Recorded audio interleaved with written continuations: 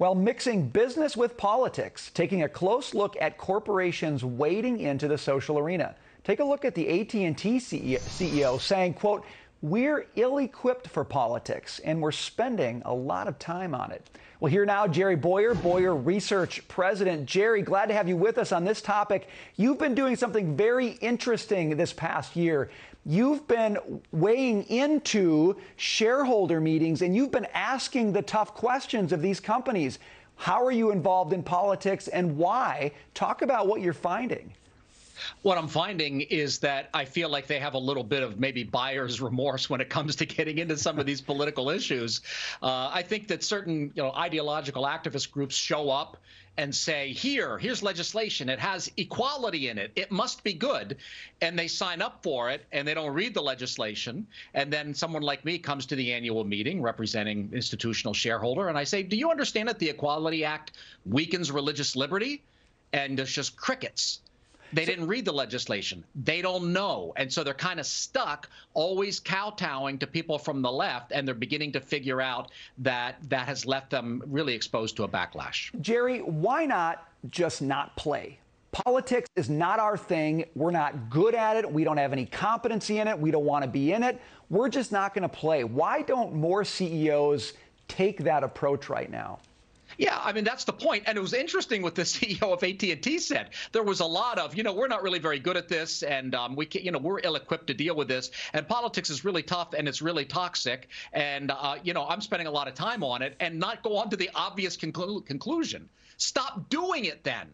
I mean, businesses understand the idea of core competency. You're a telecommunications company, and yet they think they can weigh in on social engineering or take one side in a culture war and do it competently.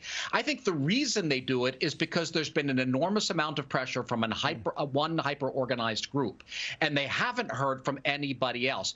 People like me who invest as shareholders. I'm not there as an activist. Right. I'm an investor.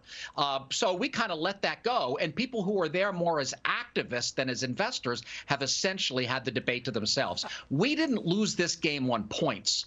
We forfeited by not showing up. Yeah, I, is, I, don't think this is a game you can win. I really don't. But Jerry, I want to get your take on this as well. Exxon is losing at least two board seats to an activist investor in a battle over climate change. The Wall Street Journal dubbing it, quote, the proxy coup at Exxon. The editorial going on to explain, quote, the San Francisco based hedge fund Engine Number One, formed in November of last year, set out to overhaul Exxon's board. Its goal, make the biggest U.S. oil and gas company transition out of its legacy business. Jerry, you look at what's happening here, the big activist investor.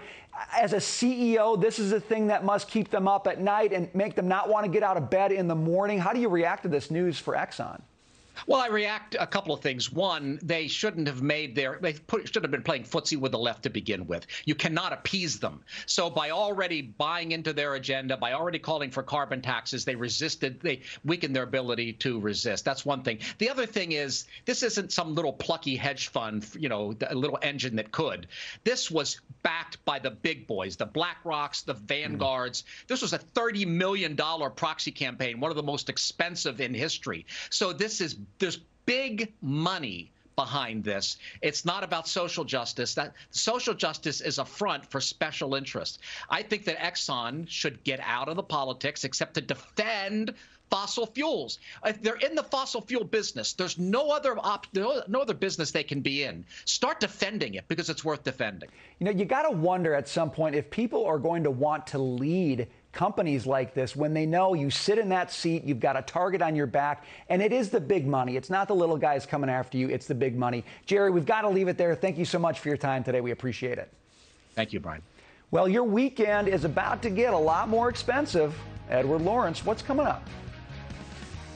Yeah, Brian, uh, so I've got my apron here, and there's nothing in my wallet because of this. And I'll tell you more about it coming up.